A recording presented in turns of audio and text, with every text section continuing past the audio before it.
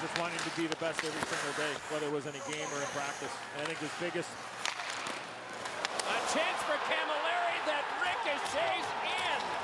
The Canadiens will take it. They have the lead. Mike Cammalleri knocks this puck out of midair.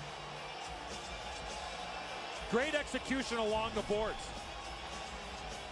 And we heard Mike and Pierre talking about face-offs.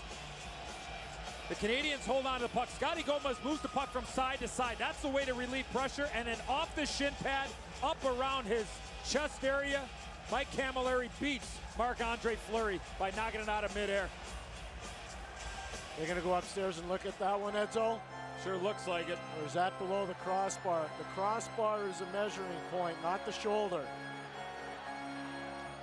And from our progressive net cam, left part of your screen, Cammalleri making contact, Fleury down. Looked like it was kind of, look where, look where his stick is, look where the crossbar is. Puck comes up, oh, that's a good goal. That's a good goal, absolutely a good goal. Heads up play there by Mike Cammalleri.